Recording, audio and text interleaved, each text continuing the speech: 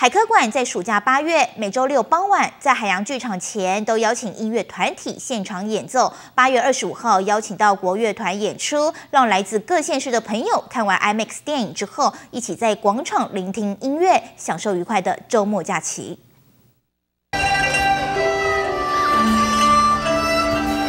国乐老师带来传统与现代的国乐曲风，微风吹拂，真的是一大享受。不少来自外县市的朋友都给予极高的肯定。我第一次来，我们住桃园，对，很棒，就觉得在这边给有有这样的音乐响应，觉得很不错。嗯，啊，第二次来，感觉怎么样？嗯，感觉很好玩。我第一次来，我觉得很好玩。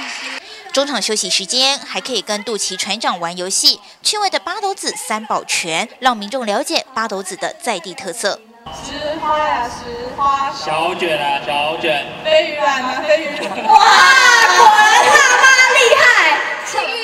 年举办暑期的活动，那由我们肚脐船长陪着所有的大小朋友一起来参与我们海科馆的活动。那其中包含了海洋音乐会、cos 派对、彩绘海科号，以及我们我爱爸爸、平中信等等的活动。那特别是在我们海洋音乐会的活动呢，连续四个周末都是以不一样的主题来呈现，现场的朋友的反应也都非常的热烈。那今天正好是我们的压轴场，是我们的国乐主题，也让大家感受一下不一样的。音乐的响宴。那另外呢，在我们主题馆的部分，我们会在十二月底的时候正式开幕。那在我们主题馆的部分，最重要的是呢，有八个展厅，其中呢，最受小朋友们期待的就是我们的儿童厅，里头打造的像儿童乐园的方式，让大家了解、认识海洋科技。欢迎到时候大家大朋友、小朋友一起来海科馆，一起来参与我们的所有活动。